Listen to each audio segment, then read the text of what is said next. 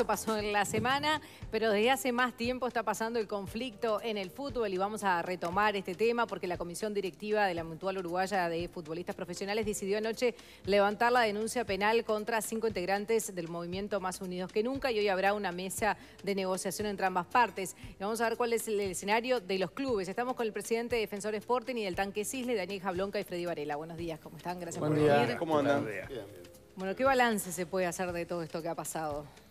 Yo creo que al menos, por lo menos hoy estamos con un grado de optimismo un poco más grande que de repente lo que teníamos ayer en el momento. Apareció la luz al final del túnel. Por lo menos hay una posibilidad de diálogo y creo que a través del diálogo es donde puede llegar a aparecer la solución. Bueno, aparentemente parte de lo que sucedió, además de la negociación del PIT-CNT, fue lo, impactante del comunicado de la AUF, que emitió en los clubes intimando a que volviera el fútbol.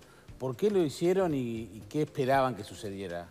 Bueno, eso es una decisión pura y exclusivamente del Ejecutivo que nosotros eh, nos enteramos de esa comunicación, de esa intimación que le hizo el Consejo Ejecutivo a la Mutual, que es el verdadero gremio, porque es a quien tenía que intimar indiscutiblemente, porque el movimiento Más Unidos que Nunca no tiene personalidad jurídica y en realidad son todos afiliados a la Mutual Uruguaya de Jugadores Profesionales.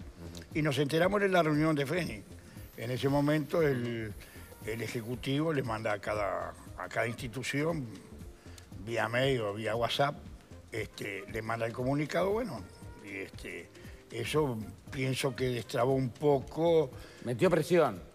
No sé si metió presión porque no ese es el término que, que, emplean los clubes ni, ni, el Ejecutivo. Pero no cayó nada bien porque... Eh, era, era una medida que había que tomar porque nos está perjudicando esto, no solo deportivamente, sino económicamente. Respalda lo actuado por el Ejecutivo, entonces. ¿Eh? Respalda lo actuado por el Ejecutivo.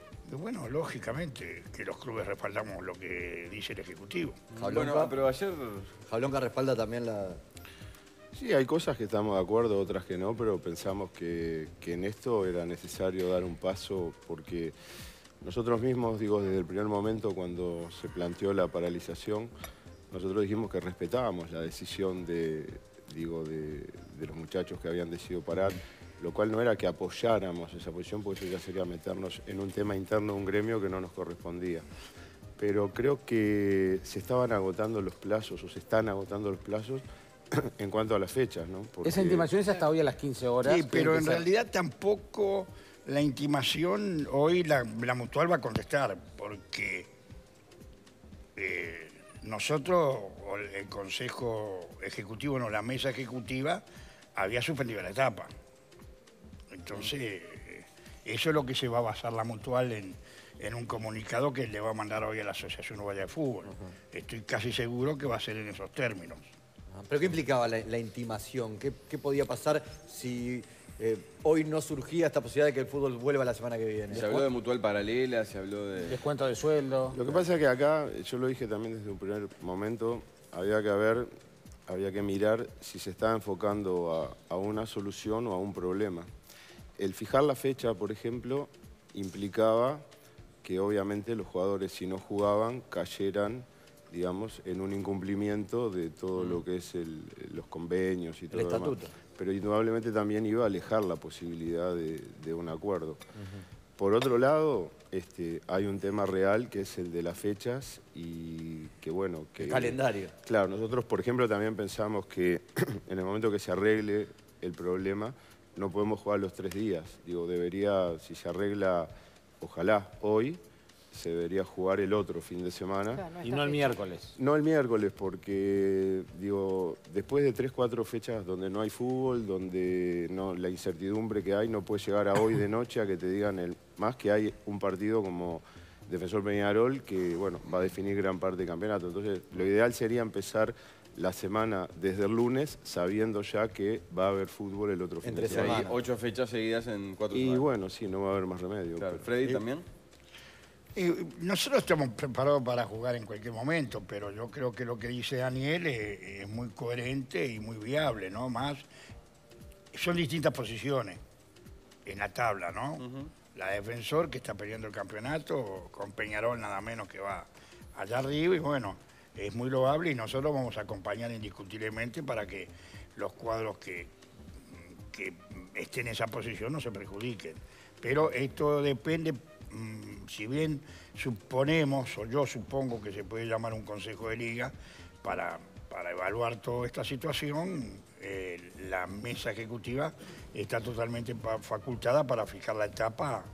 Este, no sé si dan la fecha, yo no he calculado, sinceramente. Sí, la mesa ejecutiva decía que eh, arrancando el fin de semana del 11 da con lo justo y hasta dependiendo de las finales, ¿no? Que se jueguen el año que viene, pero pongamos la situación hipotética de que no se soluciona hoy porque surge una traba, no se ponen de acuerdo. ¿Cómo se ataja ese penal ahí? Bueno, ahí. ahí ¿eh? Escúchame, salven el millón. eh. ¿Quién clasifica las copas? No, ¿Quién eso- baja? Entonces, Sí, eso sería muy, muy complicado, indudablemente, como sería complicado que se jugara eh, las últimas fechas o la final el año que viene, cosa que pasó, creo que fue 2010-2011, Sí. hubo una final nacional Danubio que se jugó al otro año con planteles diferentes y creo que eso... Nada que ver, le saca... Porque además, Claro, Sí, claro. además digamos, cuando, hay, cuando hay paro, eh, los trabajadores saben que les van a descontar. Sí. Pero los jugadores en el caso de, de- de- de- de este conflicto están entrenando, están yendo a entrenar. O sea, la relación de trabajo... Sí, pero no, Es raro, pero no es están jugando. mismo. No es lo mismo. Bien, pero ¿les están pagando el sueldo? Cuando tú. Bueno, a eso voy. Pero Pero es una Cuando vos firmas el contrato del jugador, vos firmás un contrato para jugar al fútbol el fin de semana por un campeonato oficial. Ponerte la camiseta y, y jugar. oficial.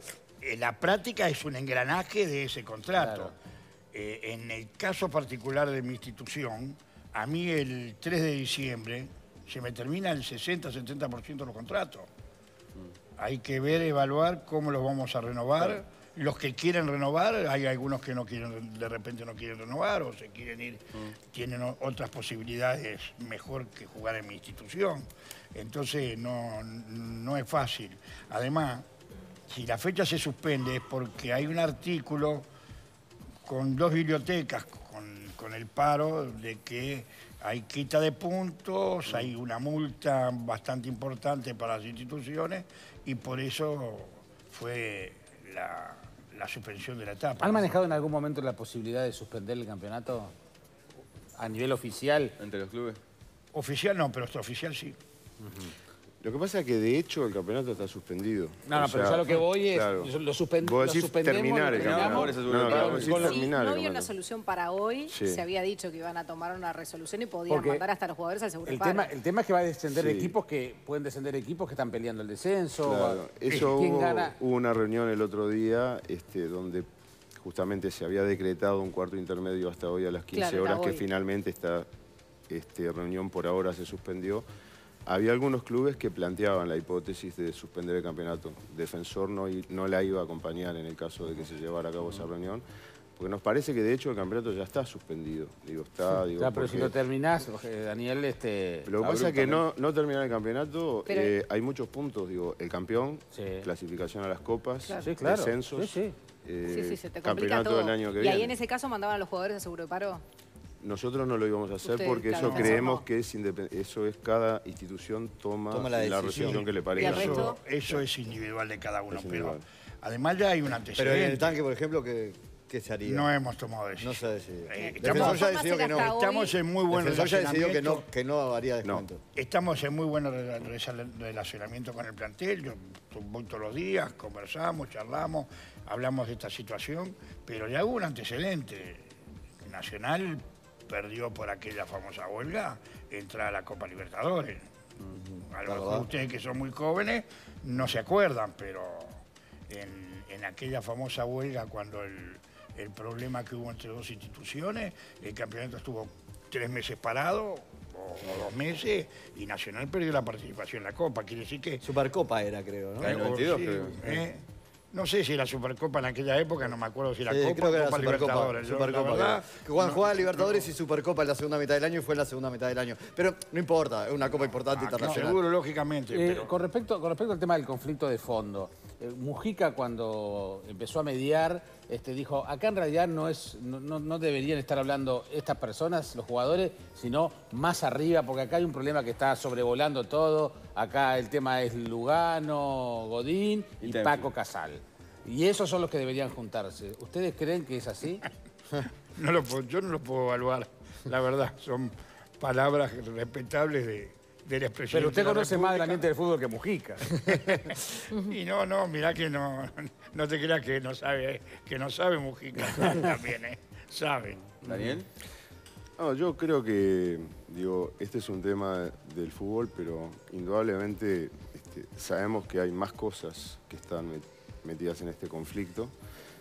También quiero decir una cosa, digo, o sea... ¿Cuáles son esas cosas, Daniel? No, no, digo, hay, de repente se, se Y está Freddy hablando se de- ríe. que- de- que- ¿Querés acotar algo desde atrás? Metele el cuchillo que- el que está en el fútbol, el que escucha, eh, estás todo el día escuchando que hay temas por ahí de, de- que está enganchado al tema de la televisión. Lo que pasa es que hay también que tener claro una cosa. eh, hoy estamos todos con el objetivo de levantar este problema que tenemos.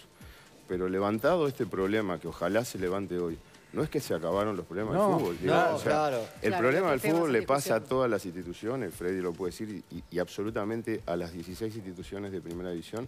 Hay un problema económico muy duro para todas las No, instituciones. y la B está sumergida. Claro. Y, Y esto no ayuda a este tipo de, No, de cosas. Ahora, de las pérdidas económicas por este paro. Sí. ¿Tienen una cifra de cuánto se está perdiendo? Mira, so- es diferente de repente cada institución. Nosotros, las recaudaciones, para nosotros, la verdad, no nos implican nada, porque nosotros, digo, es un rubro que no es el que realmente nos da El un grueso del ingreso financiamiento. importante. Y cuando jugamos con Nacional y Peñarol y somos locatarios, los traemos al Francini y les damos muy poquitas entradas, o sea No les que cambia. no nos cambia. Pero sí nos cambia el hecho de, es la vidriera para mostrar a los jugadores. O sea, en Defensor hace 3, 4 fechas debutó un chico de 16 años, Facundo Mirá, metió dos goles. En racha, le cortaron. Claro, en, cam- en el campeonato debutaron 10 chicos que no habían jugado, no tenían minuto. Es un poco también gracias a que tenemos una columna vertebral de, de- de otros más grandes que son los que permiten insertar a estos chicos. Y nosotros lo que necesitamos es que haya fútbol para que la vidriera esté abierta y podamos Ahora, mostrarlo. parece ser eh, este conflicto un nudo importante en lo que será el, el futuro del fútbol. Y por eso también los clubes toman posiciones distintas según cuál entienden eh, será el mejor camino para el fútbol uruguayo. Porque no es lo mismo estos días decir, como has dicho vos, Daniel, respetamos la decisión de los jugadores de tomar medidas, que decir los jugadores están para jugar y los dirigentes para dirigir, como ha dicho Damiani, o cosas parecidas como ha dicho el presidente de Nacional. Es decir, acá se están jugando cosas importantes y las posiciones tienen que ver con eso. No, no lo desconocen ustedes. Pero no son solo las posiciones en la tabla. ¿eh? No, no, las posiciones de cada club Ah, respecto bueno, al conflicto. ahí está. la- eh, eh, no es fácil, no es nada fácil. Eh, el fútbol necesita una reforma indiscutiblemente, se está, se está trabajando para eso. eh, ahora están las licencias, eh, que ya hay una comisión especializada nombrada por el Colegio de Abogados que está estudiando las licencias de cada institución. Hay en, carpeta o arriba de la mesa la reforma de estatutos, que en algunos puntos el tanque no las comparte, pero bueno, las, las- las estamos evaluando.